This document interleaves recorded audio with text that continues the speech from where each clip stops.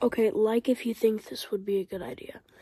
So, like in every Billy O, it cuts to a commercial, and Billy, it's called A Little Bit About Billy. And, like, he tells you a couple things about him in each one. I think that would be a good idea. Comment down below if you think it's a good idea.